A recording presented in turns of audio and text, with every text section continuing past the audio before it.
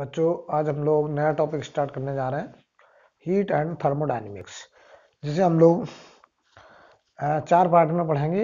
एक thermal expansion फिर calorimetry और फिर हीट ट्रांसफ़र जिसमें कंडक्शन रेडिएशन एंड कन्वेक्शन और फिर आता है थर्मोडाइनमिक्स तो आज हम लोग स्टार्ट करने जा रहे हैं थर्मल एक्सपेंशन तो हेडिंग डालिए थर्मल एक्सपेंशन थर्मल एक्सपेंशन और थर्मल एक्सपेंशन में एक लाइन लिखिए जरा पहले। थर्मल एक्सपेंशन में एक लाइन लिखेंगे। लिखिए most of the substance most of the substance expand most of the substance expand when they are heated.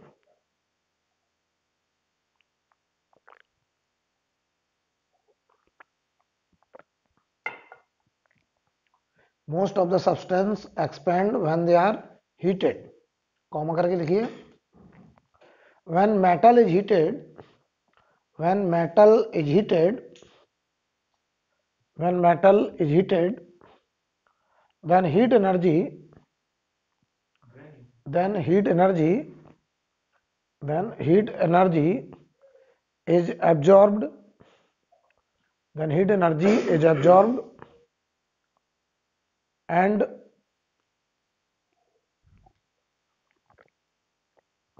and amplitude of vibration and amplitude of vibration and amplitude of vibration of atom or molecule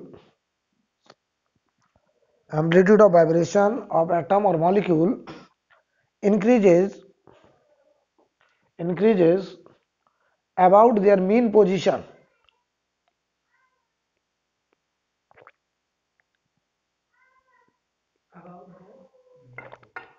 about their mean position about their mean position about their mean position paragraph change करके लिखें in the result in the result average separation in the result average separation between molecule in the result average separation between molecule also increases in the result average separation between molecule also increases right तो क्या करें generally जो metal होते हैं metal वो एक्सपेंसिबल material होते हैं like steel aluminium iron tungsten brass copper ये सब मटेरियल कैसे हैं? एक्सपेंसिबल मटेरियल हैं। मतलब अगर इनका टेम्परेचर हम बढ़ाएँगे, इन्हें हीट एनर्जी देंगे तो इनकी लेंथ क्या कर जाएगी? इंक्रीज कर जाएगी। उसकी बजाय हमने बताई है कि जब भी हम हीट एनर्जी देते हैं तो जो मेटल के पार्टिकल होंगे, वो हीट एनर्जी को एब्जॉर्ब करेंगे और मीन पोजीशन के अबाउट उनके वाइब्रेशन का जो एम्पलीट्यूड है, वो बढ़ जाएगा। और हम देखेंगे दो नियरेस्ट पार्टिकल के बीच का जो गैप था, वो बढ़ जाता है। और हमें मेटल की लेंथ एरिया या वॉल्यूम बढ़ा हुआ नज़र आता है। तो हमारे सराउंडिंग में तीन तरीके के ऑब्जेक्ट होते हैं। एक वन डायमेंशनल एक टू डायमेंशनल और एक थ्री डायमेंशनल तो हम लोग उन मेटल्स की बात कर रहे हैं जो एक्सपेंसिबल मटेरियल है। अब हम लोग का जो फोकस है, वो किस मटेरियल पे जो एक्सपेंड करने जा रहे हैं राइट और वो जनरली मेटल्स होते हैं। तो अगर हम बात करें कि मान लो कोई मेटल वन डायमेंशन में जिसमें केवल लेंथ है तो उसका जो एक्सपेंशन हम पढ़ेंगे, वो लेंथ के अलॉन्ग पढ़ेंगे, उसे बोलेंगे लीनियर एक्सपेंशन तो डालें लीनियर एक्सपेंशन तो थर्मल एक्सपेंशन हम तीन तरीके का पढ़ेंगे। पहला कौन सा है? लीनियर एक्सपेंशन लीनियर एक्सपेंशन ठीक है? ये वन डायमेंशनल ऑब्जेक्ट के लिए होगा तो समझते जरा। मान लो हम आपसे कहें, हमारे पास ये एक रॉड है, ये एक रॉड है। इस रॉड की लेंथ है इनिशियल लेंथ मान लो एल नॉट है। At initial temperature T naught degree Celsius. T naught degree Celsius पर इस रॉड की लेंथ है कितनी? एल नॉट, ठीक है? और इसका मटेरियल एक्सपेंसिबल मटेरियल है हम इसका टेम्परेचर डेल्टा टी राइज करने चले। अच्छा टेम्परेचर बढ़ाएँगे तो लेंथ बढ़ेगा, और टेम्परेचर घटाएँगे तो लेंथ घटेगा। लेंथ कॉन्ट्रैक्ट कर जाएगी राइट यानी जब हम कूल करेंगे बॉडी को तो लेंथ कॉन्ट्रैक्ट करेगा हीट करेंगे तो बढ़ेगा एक्सपेंड करेगा। तो जो एक्सपेंशन का अमाउंट होता है एक्सपेंशन का अमाउंट यानी डेल्टा एल वो किन किन बातों पे डिपेंड करता है? ये डेल्टा एल का मतलब इंक्रीज इन लेंथ या चेंज इन लेंथ बोले। अगर टेम्परेचर डेल्टा टी घटाओगे तो डेल्टा एल लेंथ कम हो जाएगी। तो मैं तुमसे कहूँगा डेल्टा टी हमने बढ़ाया तो लेंथ बढ़ेगी। तो जो डेल्टा एल है, वो किन फैक्टर्स पर डिपेंड करता है?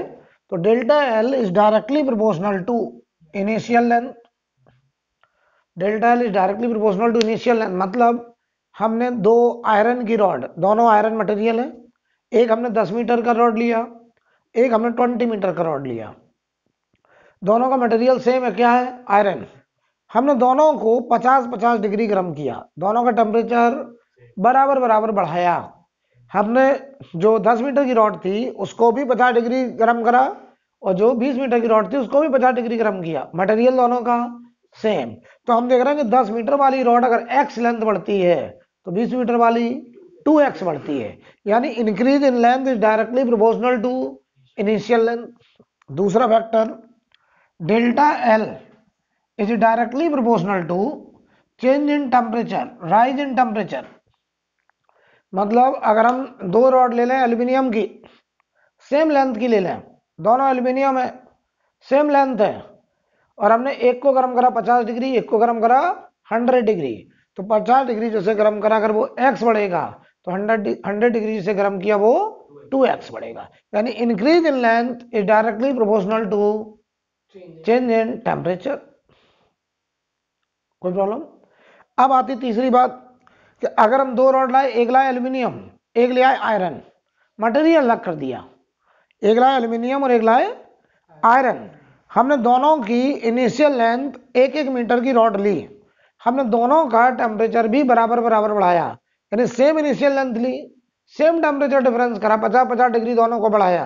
तो हम देख रहे हैं, तब भी आयरन का लेंथ कम बढ़ रहा है एल्यूमिनियम का ज़्यादा बढ़ रहा है। इसका मतलब एक फैक्टर और है, जिस पर एक्सपेंशन का अमाउंट डिपेंड करता है, और वो फैक्टर है मटेरियल जिसके लिए हम लोग एक कोफिशियंट डिफाइन करेंगे लीनियर एक्सपेंशन कोफिशियंट जिसे अल्फ़ा से रिप्रेजेंट करेंगे। यानी हम ऐसे बोले this delta L is proportional to initial length into temperature difference तो अगर हम प्रोपोर्शनलिटी हटाएँ तो एक कांस्टेंट तो delta L increase in length will be equal to L initial alpha delta T तो ये जब प्रोपोर्शनलिटी हटा तो यहाँ पे जो कांस्टेंट आया वो कौन है? अल्फ़ा और ये अल्फ़ा जो है वो लीनियर एक्सपेंशन कोफिशियंट है। इसे हम लोग बोलेंगे लीनियर एक्सपेंशन कोफिशियंट और इसका यूनिट होता है पर डिग्री सेल्सियस अल्फ़ा की क्या यूनिट होगी? पर डिग्री सेल्सियस या पर डिग्री कैल्विन जैसे देखो, ये मीटर होगा तो ये मीटर होगा, कट जाएगा। तो अल्फ़ा यहाँ रोक लो, डेल्टा डी नीचे आएगा तो पर degree Celsius linear expansion coefficient बोलते हैं अल्फ़ा। और ये किसकी प्रॉपर्टी होगी? मटेरियल की। यानी property of material property of material यानी आयरन का मटेरियल का रॉड है। चाहे वो एक मीटर का हो, चाहे वो दस मीटर का हो, दोनों का अल्फ़ा क्या होगा? सेम क्योंकि अगर आयरन है तो आयरन का चाहे छोटा पार्टिकल हो, चाहे बड़ा पीस हो, दोनों का अल्फ़ा सेम रहेगा, क्योंकि ये प्रॉपर्टी किसकी है? मटेरियल की। और ये जो अल्फ़ा होते हैं, बहुत ही स्मॉल नंबर होते हैं। टेन की पावर माइनस फाइव ऑर्डर के टेन की पावर माइनस सिक्स ऑर्डर के।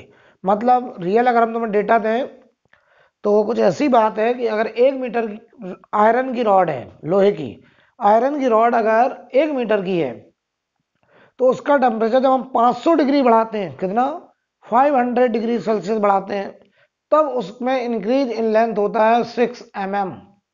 कितना 6 मिलीमीटर mm, यानी 500 डिग्री टेम्परेचर बढ़ाने पे आयरन का लेंथ कितना बढ़ के आता है 6 एम mm. ये मतलब रियल डेटा है तो अब तुम समझ लीजिए कि जो अल्फ़ा है, जो लीनियर एक्सपेंशन का कोफिशियंट है, वो बहुत ही स्मॉल नंबर टेन की पावर माइनस फाइव पर डिग्री सेल्सियस टेन की power minus six degree Celsius order के होते हैं। लेकिन हम जो डिस्कशन करने जा रहे हैं, वो बहुत ही स्मॉल के लिए करने जा रहे हैं राइट यानी हम उस एम एम रेंज के एक्सपेंशन की भी बात करना चाहते हैं, ठीक है? ऐसा नहीं होगा कि तुम एक मीटर की रॉड लाए, दस डिग्री गर्म कर दिया, दो मीटर की रॉड लेके जा रहे हैं, ऐसा नहीं है। आपका जो इंक्रीज इन अमाउंट है वो बहुत ही स्मॉल ना के बराबर राइट यानी मैंने क्या डेटा दिया कि आयरन में 500 डिग्री टेम्परेचर बढ़ाओगे तब जाके 6 M M increase in length होगी, अगर इनिशियल लेंथ कितनी है? वन मीटर तब जाके सिक्स मिलीमीटर इंक्रीज होता है राइट तो खैर तो बताओ जो फाइनल लेंथ अगर हम लिखना चाहें यहाँ पे तो बताओ इसकी फाइनल लेंथ कैसे लिखेंगे हम लोग? इनिशियल लेंथ में इंक्रीज इन लेंथ ऐड कर दो? इनिशियल लेंथ में इंक्रीज इन लेंथ ऐड कर दो। तो बताओ फाइनल लेंथ बराबर? Initial length plus initial length alpha delta T. तो क्या हम ऐसे लिख सकते हैं डायरेक्ट? फाइनल लेंथ बराबर। इनिशियल लेंथ कॉमन ले लो। One plus alpha delta T. ये हमारी फाइनल लेंथ होगी। क्यों भाई? अगर ये initial length T naught degree Celsius पर है। तो बताओ ये फाइनल लेंथ कितने टेम्परेचर पे है? T naught plus delta T degree Celsius पर होगी। ठीक है? डेल्टा टी का क्या मतलब है? चेंज इन टेम्परेचर फिजिक्स में चेंज का मतलब क्या होता है? फाइनल माइनस तो ये फाइनल टेम्परेचर माइनस इनिशियल लिखा है। अगर हीटिंग का केस होगा तो फाइनल टेम्परेचर बड़ा इनिशियल छोटा तो डेल्टा टी कैसा नंबर? पॉजिटिव। तो ये पूरा नंबर वन से बड़ा तो फाइनल लेंथ, इनिशियल लेंथ से ज़्यादा। लेकिन अगर ये कूलिंग का केस होगा, टेम्परेचर अगर तुमने डाउन करा है तो फाइनल टेम्परेचर कम है, इनिशियल ज़्यादा है। तो बताओ, डेल्टा टी अपने आप में कैसा नंबर? नेगेटिव। अरे यार, डेल्टा टी क्या होता है? Final minus initial. और कूलिंग का केस है तो इनिशियल बड़ा था, फाइनल छोटा तो नेगेटिव नहीं आएगा। अगर ये नेगेटिव तो ये नंबर वन से छोटा तो ये फाइनल लेंथ इनिशियल लेंथ से कम तो ये लेंथ कॉन्ट्रेक्शन का केस हो जाएगा। यानी मैं तुम्हें ये सिखाना चाह रहा हूँ, ये हीटिंग के लिए भी यही फॉर्मूला कूलिंग के लिए भी यही फॉर्मूला चाहे हम टेम्परेचर बढ़ाएँ, चाहे टेम्परेचर घटाएँ डेल्टा टी का मतलब है फाइनल टेम्परेचर माइनस तो ये अपने आप यहाँ साइन एडजस्ट होता रहेगा। बोलो भाई, ये बताओ चेंज इन लेंथ है और वो फाइनल लेंथ है। ठीक है? तो ये बताओ, कौन सी मटेरियल की बात करिए? हमने कहा जो वन डायमेंशनल ऑब्जेक्ट हैं, उनमें हम कौन सा एक्सपेंशन देख रहे हैं? लीनियर एक्सपेंशन उसके लिए कोपिशियंट आया कौन? अल्फ़ा जिसे हम लोग बोलेंगे लीनियर एक्सपेंशन कोपिशियंट अब लिखें दूसरा। दूसरा लिखें area expansion area expansion area expansion या फिर इसी का दूसरा नाम superficial expansion superficial expansion area expansion को ही हम लोग क्या बोलते हैं? सुपरफिशियल एक्सपेंशन तो ये बताओ किन बॉडी के लिए पढ़ेंगे हम लोग? जो टू डायमेंशनल होंगे। मटेरियल जो मास हो, जो होगा मटेरियल वो एरिया में फैला होगा। तो like rectangular plate square plate इस तरीके के जो ऑब्जेक्ट होंगे डिस्क है, इन सब के लिए हम लोग क्या पढ़ेंगे? कौन सा एक्सपेंशन एरिया रिंग के लिए क्या पढ़ेंगे? रिंग की सरकमफ्रेंस के लिए क्या पढ़ेंगे? एरिया की लीनियर लीनियर क्योंकि सरकमफ्रेंस लेंथ होता है. एरिया के लिए क्या पढ़ेंगे? एरिया एक्सपेंशन सुपरफिशियल मान लो तुमसे कहें ये कोई ऑब्जेक्ट है, ये कोई प्लेट है. यहाँ देखो, ये जो सैडेड पार्ट दिखा रहा हूँ, ये पूरा मटेरियल है। यहाँ पे मास है पूरा। तो बताओ, इसका इनिशियल एरिया ए नॉट है at T initial equal to T naught degree Celsius ठीक, और ये मटेरियल एक्सपेंसिबल मटेरियल है। हम गए, हमने इसका टेम्परेचर डेल्टा टी राइज कर दिया। तो ये बताओ एक्स के लॉन्ग भी एक्सपेंड करेगा वाई के लॉन्ग भी तो इसका जो फाइनल शेप है वो कुछ ऐसा होने वाला है। ऐसा। ये एक्स वाई दोनों डायमेंशन में इंक्रीज करेगा। ऐसा हो जाएगा इसका फाइनल शेप राइट तो मैं तुमसे कहूँ, जो इंक्रीज इन एरिया है डेल्टा ए उसे हम डायरेक्ट लिख रहे हैं बराबर करके। फिर से वही story proportional to initial area proportional to delta D proportional to proportional to initial area into delta T तो जब प्रोपोर्शनलिटी हटाएँगे तो एक कांस्टेंट कौन सा कांस्टेंट बीटा बोलते हैं। तो सीधा बोला डेल्टा ए बराबर। Initial area beta delta T और इस बीटा को हम लोग बोलते हैं सुपरफिशियल या एरिया एक्सपेंशन कोफिशियंट और इसकी भी वही यूनिट है पर डिग्री सेल्सियस ठीक है?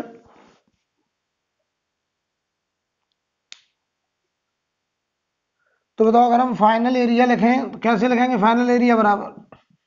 इनिशियल एरिया में इंक्रीज इन एरिया ऐड कर दें। क्यों?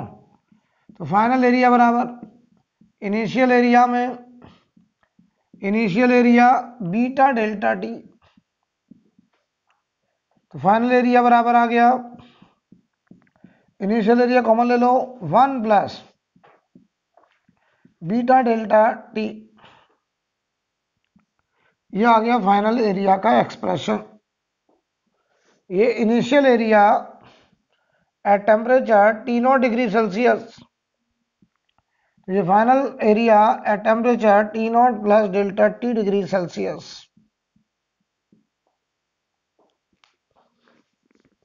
Right?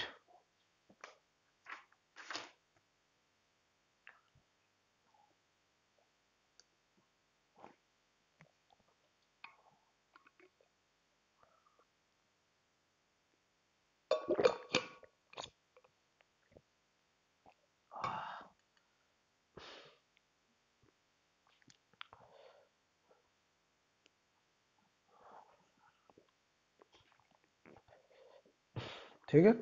अब तीसरा मान लो थ्री डायमेंशनल कोई ऑब्जेक्ट है जो वॉल्यूम में एक्सपेंड कर रहा है। एक्स के लॉन्ग वाई के लॉन्ग जेड के लॉन्ग तीनों डायमेंशन फैल रहा है। तो उसके लिए हम लोग क्या पढ़ेंगे? वॉल्यूम एक्सपेंशन राइट अच्छा टेम्परेचर बढ़ाने पे लेंथ बढ़ जाएगी एरिया बढ़ जाएगा वॉल्यूम भी बढ़ जाएगा मास कांस्टेंट मास थोड़ी बदलेगा? मास नहीं बदलेगा।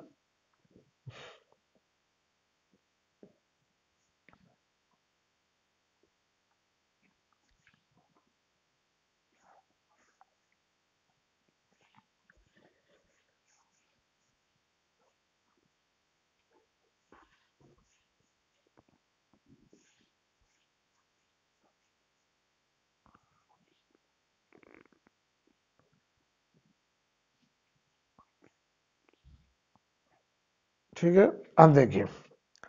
अब डालें वॉल्यूम एक्सपेंशन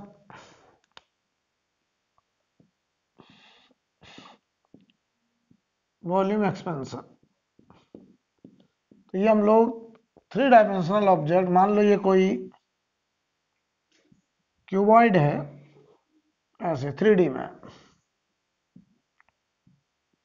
ये एक्स के लॉन्ग भी बढ़ेगा वाई के लॉन्ग भी बढ़ेगा और जेड के अलॉन्ग भी बढ़ेगा। इसका इनिशियल वॉल्यूम वी नॉट है at initial temperature T naught degree Celsius T naught degree Celsius ठीक है? हमने इसको डेल्टा डी टेम्परेचर हीट कर दिया। तो बताओ, अगर ये डेल्टा टी हीट करेंगे तो एक्स के लॉन्ग भी फैलेगा, वाई के लॉन्ग भी फैलेगा और जेड के लॉन्ग भी फैलेगा। तो क्या ये थ्री में वॉल्यूम को एक्सपेंशन कराएगा? तो इंक्रीज इन वॉल्यूम फिर से तीन बातों पर डिपेंड करेगा, बराबर लिखना डायरेक्ट क्या लिखोगे बताओ? Initial volume gamma delta T और ये जो गामा है, ये हमारा है volume expansion coefficient volume expansion coefficient.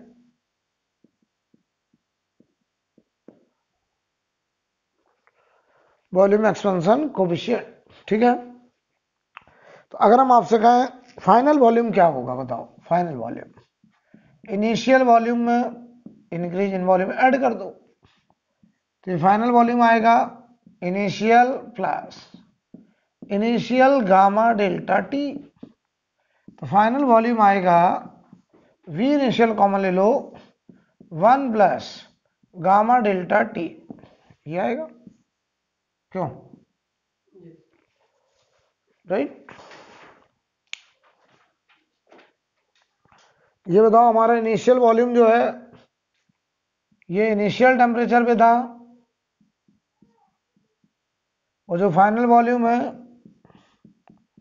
final temperature T naught plus delta T पर होगा।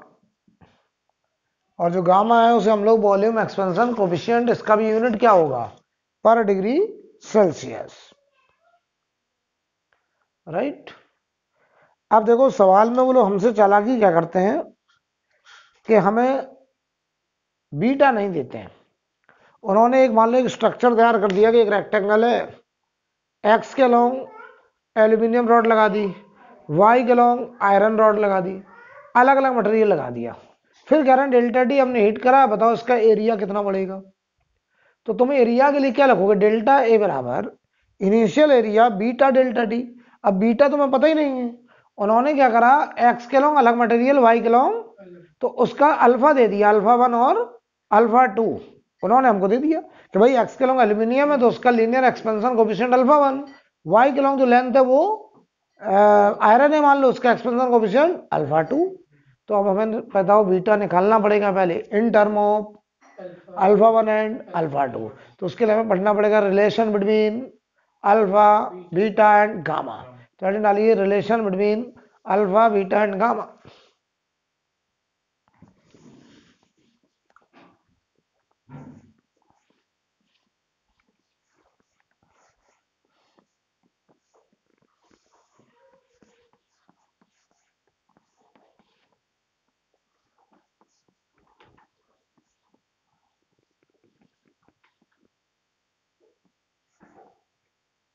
ठीक है? बताइएगा भाई। Relation between alpha beta and gamma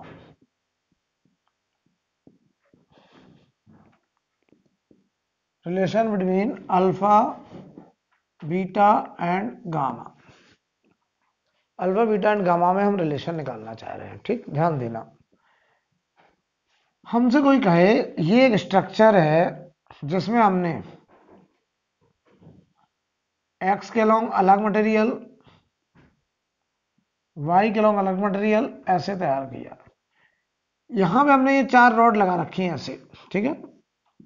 ये मान लो इसका लीनियर एक्सपेंशन अल्फ़ा वन और इसकी लेंथ है मान लो ये एल वन ठीक? ये बताओ इसका लेंथ है मान लो एल टू और इसका एक्सपेंशन कोफिशिएंट अल्फ़ा टू ठीक है? ऐसे है मान लीजिए।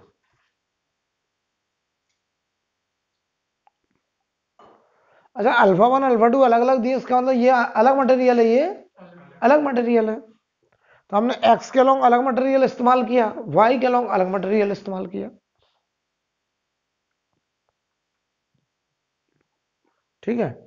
अब देखिएगा अगर हम आपसे कहें यहाँ पर कि हमें इसका अच्छा ये ये कौन सा मटेरियल है? अल्फ़ा टू है ना? लेंथ कितनी इसकी? एल टू ये क्या है? एल वन लेंथ है अल्फ़ा वन राइट हमसे कहा था कि हम इसका टेम्परेचर डेल्टा टी बढ़ा दिए। हम आपसे पूछते हैं, बताओ इसका एरिया कितना बढ़ा? इनक्रीज अच्छा इनिशियल एरिया कितना है? बोलो जल्दी से। L one into initial area तो इनिशियल एरिया तो हमें पता है। हमें उन्होंने पूछा डेल्टा ए तो बताओ डेल्टा ए तुम्हारे हिसाब से क्या होता था? Initial area beta delta T, ये होता था। लेकिन बीटा सवाल फंस गया, बीटा थोड़ी दिया उन्होंने। उन्होंने तो तुमको एक्स के अलॉन्ग जो मटेरियल है, उसका लीनियर एक्सपेंशन कोफिशिएंट वाई के अलॉन्ग जो मटेरियल उसका लीनियर एक्सपेंशन कोफिशिएंट तो तुम कह रहे हो, sir alpha one alpha two के टर्म्स में क्या निकाल लो? बीटा। अच्छा मान लो हमसे कहते हैं फाइनल एरिया बताओ। डेल्टा टी टेम्परेचर बढ़ाने के बाद फाइनल एरिया क्या लिखोगे? इनिशियल एरिया में इंक्रीज इन एरिया ऐड करते थे? तो क्या इसका रिज़ल्ट डायरेक्ट हमें पता है? क्या होता था बोलो? Initial area one plus beta delta T यानी कुल मिला के बात कहाँ अटक रही है? बीटा पे। तो बीटा निकालो in terms of alpha one and alpha two अब जो तरीका मैं बताने जा रहा हूँ, उसे ध्यान सुनो। बीटा किसका एक्सपेंशन कोफिशियंट है? एरिया का। तो पहले एरिया का फ़ंक्शन लिखिए। जो भी स्ट्रक्चर दिया गया है, आप उसके पहले एरिया का फ़ंक्शन लिख डालिए। बताओ उसका एरिया क्या? बहुत बढ़िया। एल वन इंटू एल बताओ ये टेम्परेचर बढ़ाने पर ये एल वन कॉन्स्टेंट रहेगा कि बदलेगा? ये भी ये भी। अच्छा तो जो क्वांटिटी टेम्परेचर के साथ डिफरेंशिएबल है टेम्परेचर बढ़ाने पर ये वैल्यू बदल रही है। तो these are differentiable with respect to temperature तो जो वैल्यू टेम्परेचर के साथ डिफरेंशिएबल है, अगर वो मल्टीप्लाई में है या डिवाइड में है तो आप दोनों तरफ़ लॉग ले लीजिए। क्या करिए? कब लेंगे लॉग जब ये मल्टीप्लाई या डिवाइड वो क्वांटिटी जो टेम्परेचर के साथ बदल रही है, अगर वो मल्टीप्लाई या डिवाइड में है तो दोनों तरफ़ लॉग ले लेंगे। लॉग लेने से क्या होगा? वो किसमें आ जाएगी? एडिशन या सब्ट्रैक्शन में। अगर वो ऑलरेडी एडिशन सब्ट्रैक्शन में होती तो लॉग लेने की ज़रूरत नहीं पड़ती। बहुत अच्छे समझ लीजिए। अगर वो क्वांटिटी जो टेम्परेचर के साथ बदल रही है, अगर वो मल्टीप्लाई या डिवाइड में तो दोनों तरफ़ लॉग तो यहाँ पे हमने दोनों तरफ़ लॉग लिया तो ये क्या हो गया? लॉग ए बराबर, बोलो। यहाँ क्या बन जाएगा? Log L one plus log L two यही तो बनेगा। आप बताओ, ये एरिया टेम्परेचर के साथ डिफरेंशिएबल अगला स्टेप डिफरेंशिएट कर दीजिए। With respect to temperature temperature के साथ हमने करा डिफरेंशिएट ठीक है? तो बताओ भाई। लॉग ए का differentiation one upon A D A upon D T ये तो लिखा जाएगा? Yes, बोलो। बताओ लॉग एल वन का क्या होगा? One upon L one D L one upon D T ये हुआ one upon L two D L two upon D T या गौर से देखो, गौर से देखो one upon A D A क्या चीज़ है?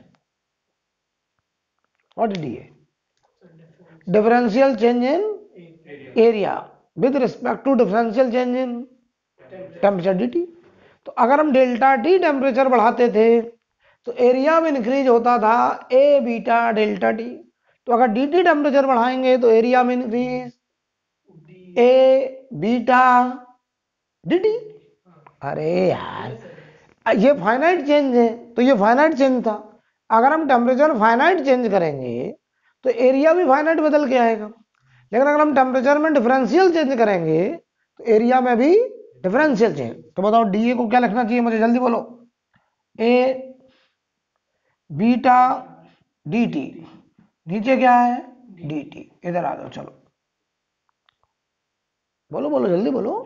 One upon L one. D L one क्या लिखोगे? L one initial length. Alpha one D T upon D T अरे बेटा डी एल वन का मतलब है differential increase in length L one. Plus one upon L two D L two क्या होगा? L two alpha two D T upon D T पूरे से D T D T D T cut गया। Area भी cut गया। इधर L one L two cut गया। गौर से देखो क्या आ रहा है इधर। बीटा बराबर। बोलो क्या रिलेशन आया? Beta is equal to alpha one plus alpha two तो सुनो भाई ध्यान से। इस स्ट्रक्चर का जो एरिया एक्सपेंशन कोफिशिएंट है वो क्या आ गया? Alpha one plus alpha two अब तुम चाहते तो यहाँ डायरेक्ट लिख सकते थे। Increase in area will be equal to initial area alpha one plus alpha two delta T अब ऐसे लिख सकते थे हम। बोलो भाई। Yes, कोई दिक्कत है क्या?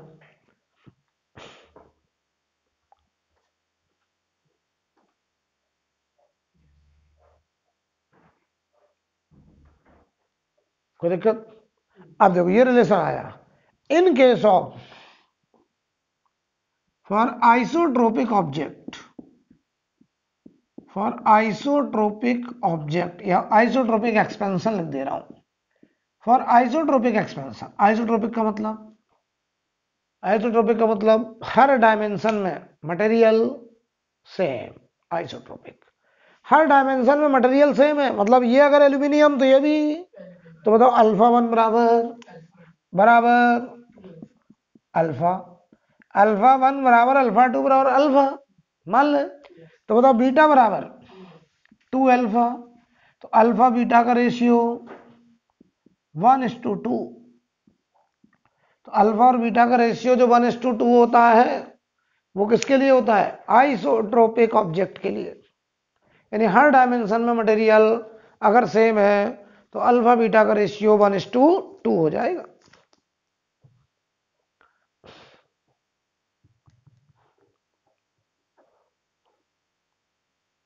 कोई डाउट पक्का?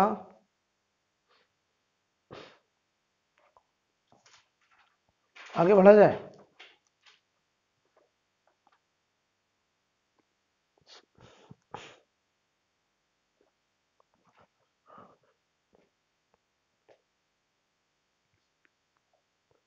तो जो हम लोग रट लेते हैं अल्फ़ा बीटा का रेशियो वन टू टू ये किसके लिए है?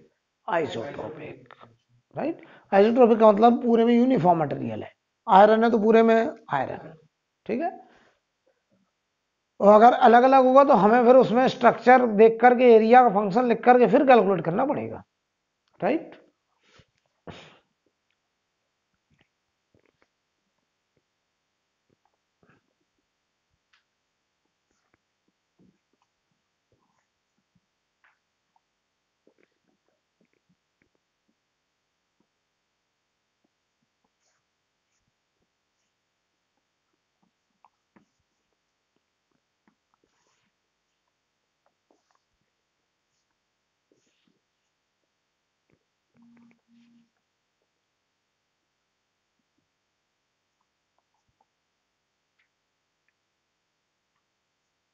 चलिए, ध्यान दीजिए।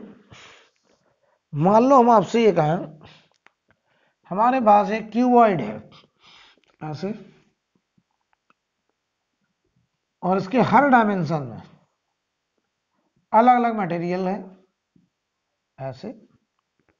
ये मान लो एल वन लेंथ इसका एक्सपेंशन कोफिशिएंट अल्फ़ा वन ये लेंथ एल टू इसका एक्सपेंशन कोफिशिएंट अल्फ़ा टू ये लेंथ एल थ्री इसका एक्सपेंशन कोफिशिएंट अल्फ़ा थ्री ये तीन अलग अलग मटेरियल का है, बना हुआ। एक्स के लॉन्ग अलग मटेरियल वाई के लॉन्ग अलग मटेरियल जेड के लॉन्ग अलग मटेरियल हम आपसे कहें, हम इस क्यूबॉइड को डेल्टा टी टेम्परेचर बढ़ा दिए। तो बताओ, इसका जो फाइनल वॉल्यूम होगा, क्या लिखोगे तुम? Final volume initial volume one plus gamma delta T सवाल कहाँ पे आ रहा, फंस रहा है? गामा पे तो गामा निकालना पड़ेगा in terms of alpha one alpha two and alpha three gamma किसका कोफिशिएंट वॉल्यूम का। लीनियर बोल रहे हो तुम? गलत बात है। सब बच्चे तुम्हारा वीडियो देख रहे हैं। तो बताइए यहाँ पर अगर हम बात करें बताओ वॉल्यूम का फ़ंक्शन लिखो पहले वॉल्यूम बराबर क्या होगा इसका वॉल्यूम बोलिए। क्यूबॉइड क्यूब होता तो लेंथ बराबर होती।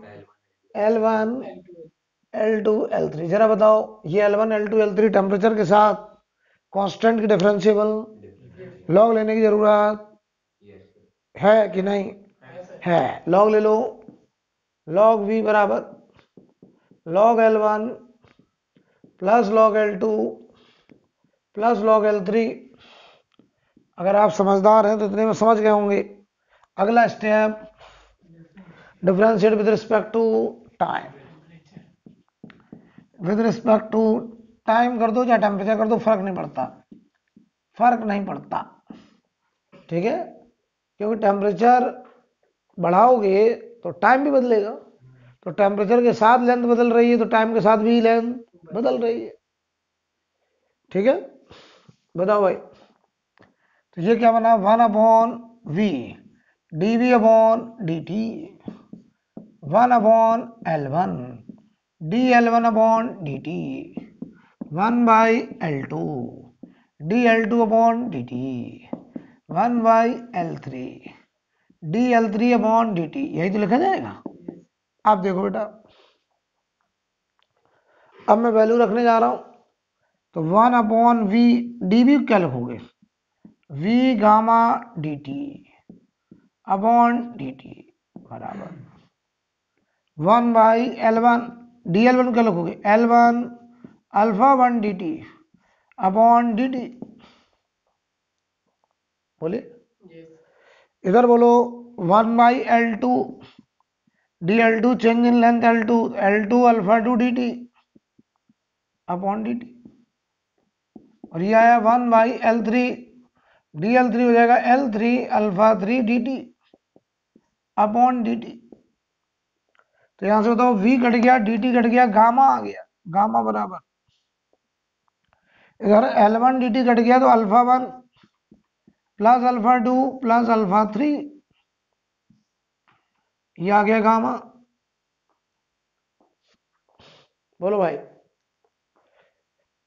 मानस त्रिपाठी बताइए क्या ये गामा यहाँ रख सकते हैं यस yes. yes. लेकिन अगर आइसोट्रोपिक एक्सपेंशन हुआ in case of isotropic expansion in case of isotropic expansion alpha one alpha two alpha three सब बराबर और किसके बराबर? अल्फ़ा के। तो गामा बराबर। गामा की वैल्यू थ्री अल्फ़ा तो गामा हो गया थ्री अल्फ़ा बोलो। और अगर गामा थ्री अल्फ़ा तो बताओ अल्फ़ा बीटा गामा का ratio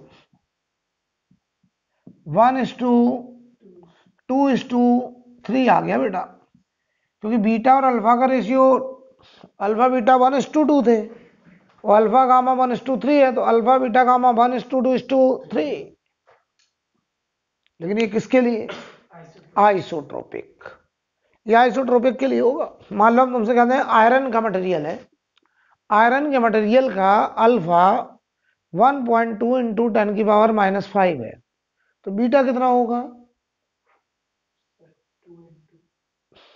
Alpha 1.2 point two into ten की पावर माइनस फाइव तो बीटा हो जाएगा two into one point two into ten की पावर माइनस टू टाइम्स हो जाएगा। गामा कितने times three times of alpha हो जाएगा। क्या मैं मान लू इतनी बात समझ गए? अब बताना जरा। अच्छा एक बात बताओ। अगर कभी किसी फ़ंक्शन में यहाँ स्क्वायर होता, मान लो पावर मान लो होता गलती से। यहाँ स्क्वायर होता तो लॉग लेते तो यहाँ टू आ जाता। तो क्या यहाँ टू आता? तो क्या यहाँ पे भी टू आता? बोलो। तो मुझे ऐसा लग रहा है कि आप देख के बता देंगे कि इसका बीटा इतना, इसका अल्फ़ा इतना गामा इतना। देख के बता देंगे। करते हैं। इतना करने के बाद मुझे उम्मीद है कि आपको बता देना चाहिए।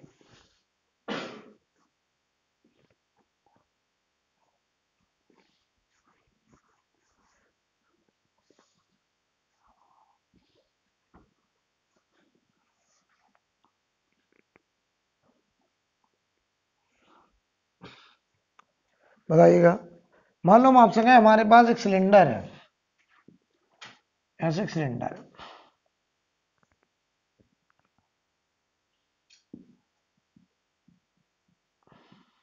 ये इसकी रेडियस है। रेडियस का एक्सपेंशन कोफिशिएंट अल्फ़ा वन ये इसकी हाइट है, इसका expansion coefficient alpha two length इसकी रेडियस के अलोंग जो मटेरियल है, उसका एक्सपेंशन कोफिशिएंट अल्फ़ा वन और हाइट के अलोंग जो मटेरियल है, उसका एक्सपेंशन कोफिशिएंट अल्फ़ा टू बताओ इसका curved surface area curved surface area curved surface area बोलो कितना? Two pi R H. बहुत बढ़िया बहुत बढ़िया. Two pi R H. तो ना इसका बीटा क्या होगा? इसका बीटा. सरफेस एरिया का एरिया एक्सपेंशन जो बीटा होगा वो कितना होगा? तो आप देखो तुम्हें नहीं समझ में आ रहा तो सुनो आप ध्यान से। तुमने एरिया का फ़ंक्शन क्या लिखा? Two by R H. क्या स्टेप था अगला? दोनों तरफ़? लो, वन में लो लॉग ए बराबर। Log two by plus log R plus log H आएगा? चलो, एक बार और लिख दे रहे हैं, समझाने के लिए। लॉग ए बराबर। इधर देख लो पहले समझ लो, मैं नोट करना बाद में। Plus log R plus log H जहाँ रोक दोगे कि बात समझ में आ गया, वहीं से करना बंद कर देंगे। अगला स्टेप क्या था? इसका difference one upon D A upon इसका डिफरेंशिएशन हाँ बहुत बढ़िया। Two by is constant number two by is constant number differentiation zero this is constant चलो, करना पड़ेगा इसका एक स्टेप और। तो ये one upon A D A upon D T तुम लोग कैसे पास हो गए भाई? कोरोना में बगैर पेपर दी तो पास नहीं हुए। भाई one upon A, D, A, Y, D, T, इसका डिफ्रेंसिएशन ज़ीरो प्लस मतलब लॉग आर का डिफ्रेंसिएशन क्या होगा? One upon R, D R upon D T plus one upon H, D H upon D T. इतना लिखना एकदम सही है। बताओ बेटा, यहाँ बोलो, डी ए को क्या लिखोगे? A beta D T A से डी टी से डी टी तो यहाँ क्या बचा? बीटा चलो। डी आर को क्या लिखोगे R alpha one D T तो यहाँ क्या बचेगा? अल्फ़ा वन डी एच क्या लिखोगे H alpha two D T तो यहाँ क्या बचेगा? अल्फ़ा टू बोलो यार। तो सुनो अब हमारा तरीका क्या है डायरेक्ट करने का। आपने देखा, ये फ़ंक्शन है। अब इसको देख के मन में सोचो कि अगर हम लॉग लेंगे तो log A log two pi plus log R plus log H जिसका डिफ्रेंसिएशन तो ज़ीरो हो जाएगा। इधर से बचेगा one by R D R by D T one by H D H by D T तो इधर alpha one plus alpha two उधर बीटा आ जाएगा। बोलो नोट करने से पहले, ध्यान दो ध्यान दो। इसके वॉल्यूम का फ़ंक्शन बताओ, चलो। Volume pi R square H बहुत बढ़िया बहुत बढ़िया। इस वॉल्यूम का एक्सपेंशन कोफिशिएंट गामा लिखना चाहता हूँ डायरेक्ट लिखना चाहता हूँ। मैं नहीं करूँगा आप क्या लॉग लेंगे? Yes two alpha one plus alpha two समझ में आने लगा। तो लॉग भी बराबर log pi plus two log R plus log H दोनों तरफ़ डिफ्रेंशिएट इधर बचेगा one by B D by D T log pi का zero two Y R D R by D T one by H D H by D T तो यहाँ बचेगा gamma, इधर two alpha one plus two alpha two एक बार कर देना, अगले बार नहीं करेंगे। लॉग बी बराबर log pi plus two log R plus log H ऐसे लिख देंगे? बताइए। अब बताओ डिफ्रेंशिएट कर दो। विद रिस्पेक्ट टू टेम्परेचर इसका डिफरेंस है one by B D B by D T ये ज़ीरो ये हुआ two by R D R upon D T one by H और ये आ गया D H upon D T ठीक है?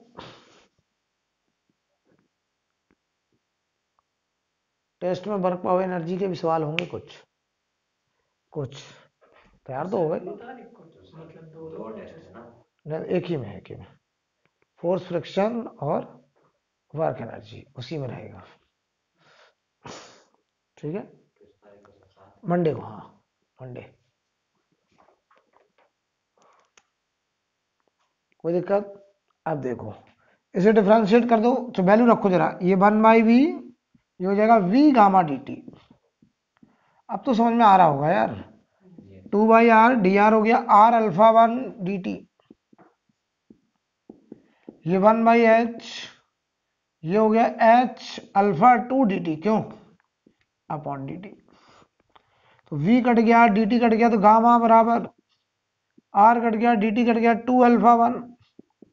H cut गया डी टी कट गया अल्फ़ा टू। ये आ गया गामा। ये होगी गामा की वैल्यू कोई दिक्कत? पक्का?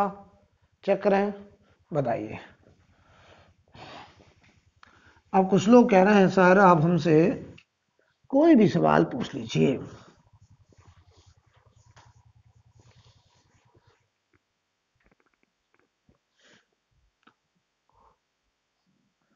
बताना भाई। अगर हम आपसे कहें एक रिंग है, इसकी रेडियस का एक्सपेंशन कोफिशियंट अल्फ़ा आर है। इस रिंग का रेडियस का एक्सपेंशन कोफिशियंट क्या है? अल्फ़ा आर तो मैं तुमसे कहूँ, इसकी सरकमफ्रेंस का एक्सपेंशन कोफिशियंट क्या होगा? अल्फ़ा आर ही होगा, बिल्कुल सही। सरकमफ्रेंस का क्या फॉर्मूला टू बाई आर। बोलो? तो क्या बताओ ये टू पाई लॉग लोगे? Log C log two pi plus log R. तो क्या यहाँ जो अल्फ़ा होगा सरकमफ्रेंस अल्फ़ा सरकमफ्रेंस क्या अल्फ़ा रेडियस के बराबर होगा? तो क्या मैं ये डायरेक्ट लिख सकता हूँ? फाइनल सरकमफ्रेंस बराबर। Initial circumference one plus alpha radius delta T.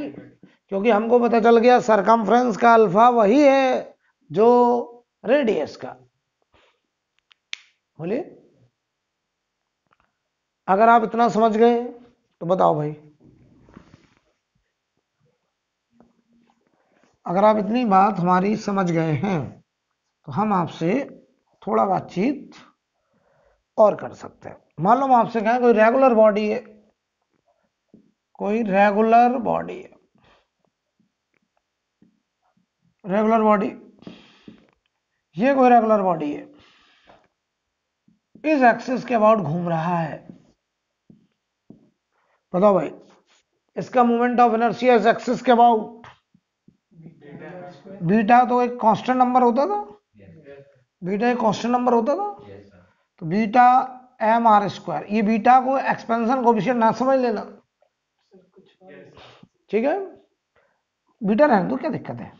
Beta M R square अगर ये रिंग होगा तो बीटा वन डिस्क होगा तो हाफ़ सॉलिड स्पेयर होगा तो टू बाई फाइव कुल मिला के कॉन्स्टेंट अगर हम कहें रेगुलर बॉडी का रेडियस का एक्सपेंशन कोफिशिएंट अल्फ़ा है,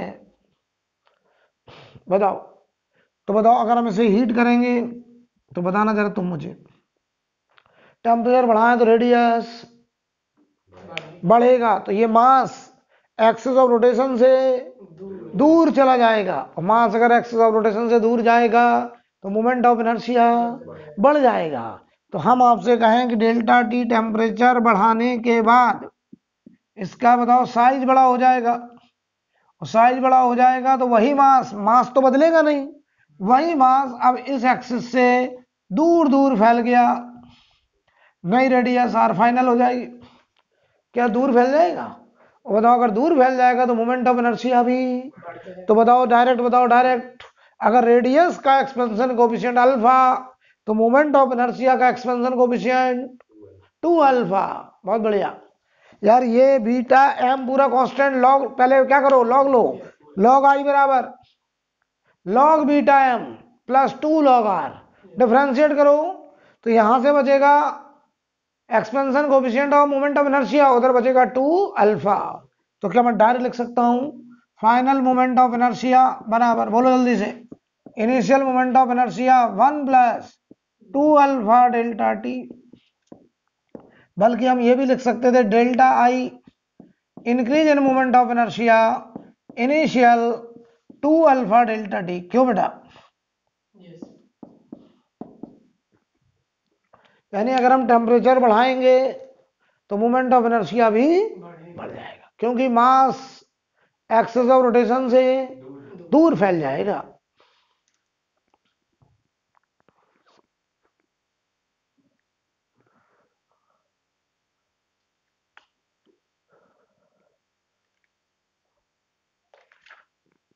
ठीक है? तो एक सवाल जेई मेंस में आया था वो सवाल जरा करके दिखाइए पहले।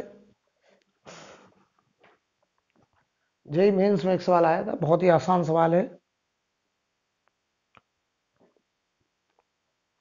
हटा दें इसको।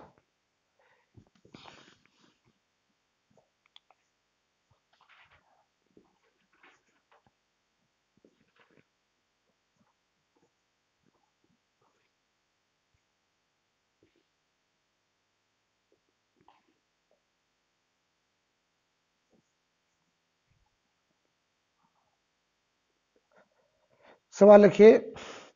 क्वेश्चन लिखो ए यूनिफॉर्म क्वेश्चन लिखिए a uniform solid brass sphere a uniform solid brass sphere uniform solid brass sphere is rotating is rotating with angular speed omega naught is rotating with angular speed omega naught rotating about angular speed omega naught about a diameter about a diameter about a diameter full stop वाले लिखिए if its temperature if its temperature is now increased if its temperature is now increased by 100 degree celsius if its temperature now increased by 100 degree celsius if now its temperature is increased by 100 degree celsius what will be what will be its new angular speed what will be its new angular speed? और alpha brass का दिया है two into ten की power minus five पर degree Celsius ये alpha brass का हमको दिया गया है। What will be new angular speed ठीक है? सवाल पढ़ लो पहले दो बार, फिर ट्राई करो और आंसर बताओ मुझे। ट्राई करो पहले आप लोग।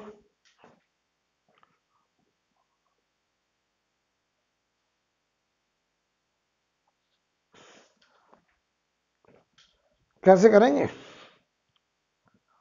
क्या कॉन्सेप्ट लगाएँगे? हाँ? जो अभी पढ़ा। क्या? वही तो बताओ क्या पढ़ा? पिछले दो दिन में पढ़ा है। आज से नहीं होगा अकेले। पिछली क्लास में भी पढ़ा तुमने।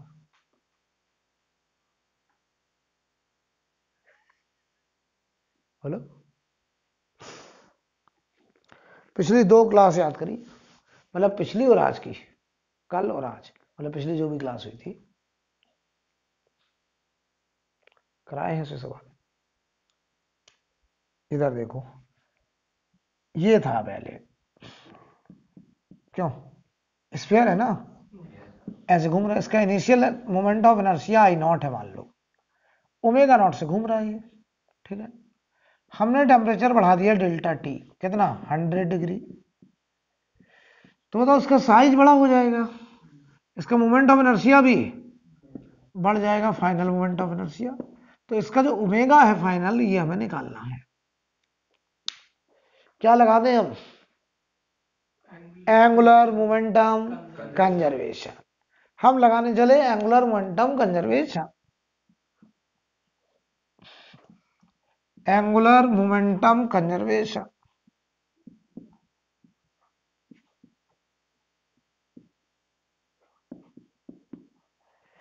about about CM axis जो दी गई है क्यों.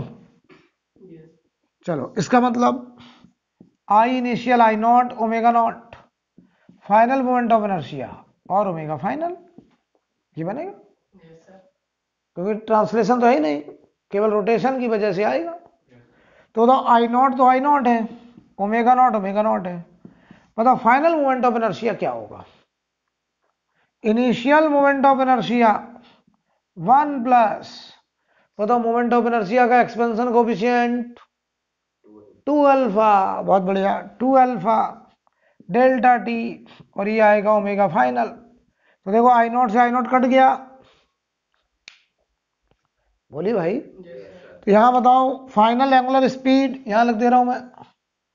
Final angular speed omega not initial upon one plus two alpha की वैल्यू टू इंटू टेन की पावर माइनस फाइव और डेल्टा टी की वैल्यू हंड्रेड तो ओमेगा फाइनल देखो क्या आ गया यार? ये आ गया omega not upon one plus four into ten की पावर माइनस थ्री कोई दिक्कत है क्या? क्या मैं इसको ऐसे लिख सकता हूँ? Omega not upon one plus point zero zero four ये लिखा जाएगा? देख लो। अब सवाल आया, इसको सॉल्व करना भी अपने आप में एक सवाल है। सॉल्व करना भी अपने आप में एक सवाल है, ध्यान रखिए। अब सुनो, मैं तुम्हें दो सवाल दे रहा हूँ, ध्यान देना। इधर देखो। मैं तुमसे कहूँ टू अपॉन या टू नहीं, कुछ भी दे दू। मैं तुमको दे दू ninety two upon point zero zero या one point zero zero four करो। या ninety two into one point zero zero four करो, कौन ज़्यादा आसान तुम्हारे लिए अरे ऊपर तो दोनों हैं। कौन सा वाला? डिवाइड वाला कि मल्टीप्लाई वाला? आपने कहा मल्टीप्लाई वाला हमारे लिए ज़्यादा आसान है। तो हम वही करेंगे हाँ ये हमसे सॉल्व नहीं हो पा रहा है बहुत कठिन लग रहा है मुझे तो। One point zero zero four से डिवाइड करना। मगर कैलकुलेटर कैसा लग रहा नहीं हो पाएगा। तो आप क्या करें, इसको ऐसे लिख लें। Omega not one plus point zero zero four की power minus one.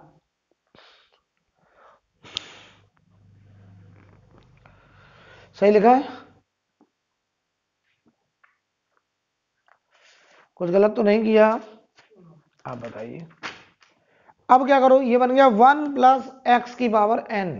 Binomial theorem for N index. पढ़ा है आपने? तो बताओ जरा।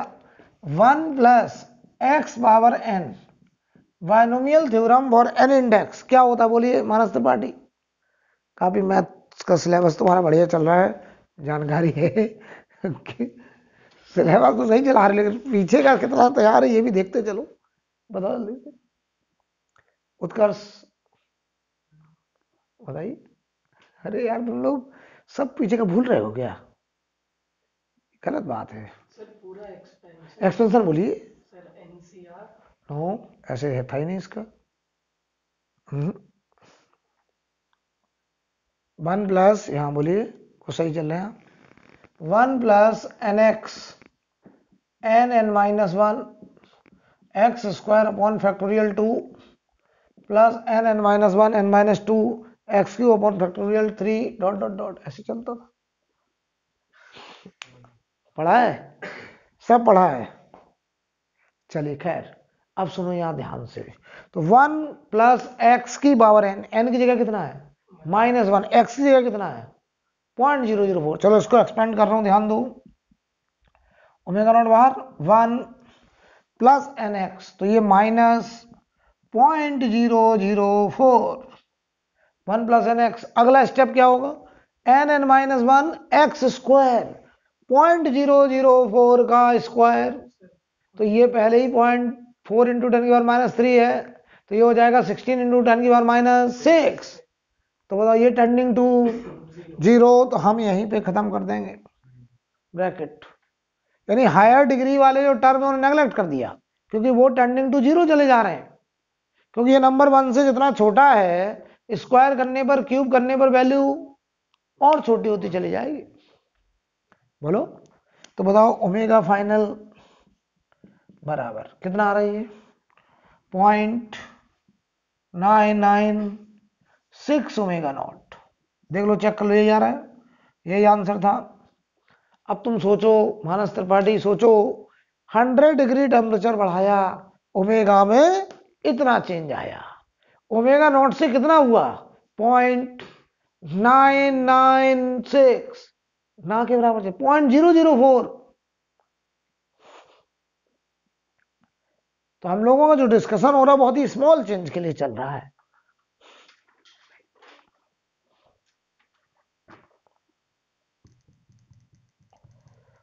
कोई दिक्कत? अगला सवाल लिखिए। अगला सवाल भी जेई मेंस में आ चुका है। ठीक है?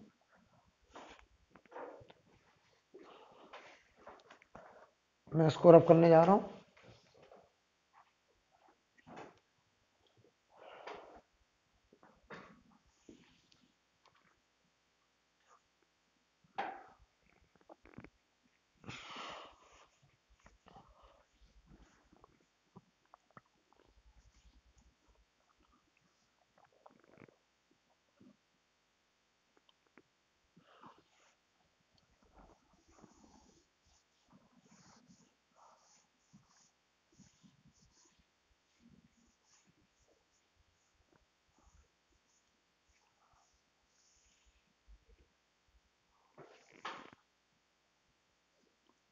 अब ध्यान दीजिए।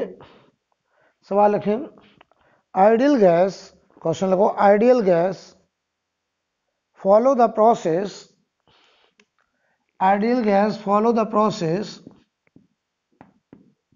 ideal gas follow the process P T square equal to constant P T square equal to constant जहाँ पर के कोई कांस्टेंट नंबर है पी क्या चीज़ है? प्रेशर ठीक है? टेम्परेचर आइडियल गैस ने इस फॉलो इस प्रोसेस को फॉलो किया है। जिस प्रोसेस का लॉ है प्रेशर इनटू टेम्परेचर का स्क्वायर हमेशा क्या रहेगा? कांस्टेंट मतलब इनिशियल प्रेशर इनिशियल टेम्परेचर का स्क्वायर बराबर फाइनल प्रेशर फाइनल टेम्परेचर का स्क्वायर ये हमेशा कांस्टेंट पूरे रास्ते. गैस हमारा आगे बढ़ रहा है एक्सपेंड कर रहा है, लेकिन ये प्रोसेस हमेशा ओबे हो रहा है राइट तो हम लोग चार प्रोसेस स्टैंडर्ड पढ़ते थे आइसोबैरिक आइसोकोरिक आइसोथर्मल एडियाबैटिक उन चार में ये नहीं है राइट ये कोई जनरल प्रोसेस है जो इस लॉ को ऑबे कर रहा है। आगे लिखें। Find volume expansion coefficient of gas find volume expansion coefficient of gas आपको उस गैस का वॉल्यूम एक्सपेंशन कोफिशियंट बताने को कहा गया है। ऑप्शन है देखिए। Option gamma equal to one upon temperature, gamma equal to two upon temperature, gamma equal to three upon temperature, और लास्ट है gamma equal to four upon temperature. ये कहा गया। इन चार में कोई आंसर। करिए जल्दी से, ट्राई करिए।